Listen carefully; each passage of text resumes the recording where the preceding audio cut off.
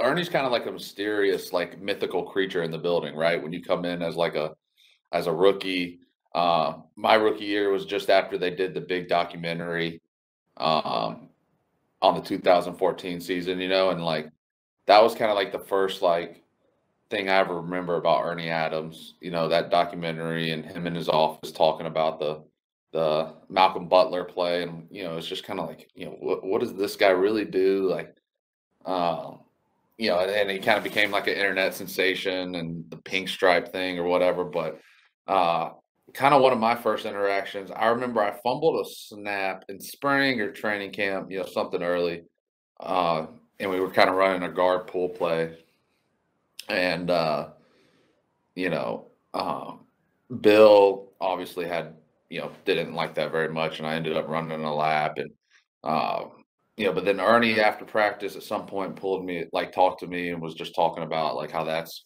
it's one of the harder snaps because the quarterback's pulling away the opposite direction for the handoff. You're going flat down the line to try to cut somebody off in a penetrating position. So uh, he just talked to me about that, and um, yeah, and, and ever since then, I kind of was like, wow, all right, and uh, he always made an effort to talk to Ernie when he was in the building, uh, or I passed him in the building. Uh, you know about rules, whatever it may be. He's just he's like an encyclopedia. So uh, it's uh, you know, Ernie will be, definitely be missed around the building. That's for sure.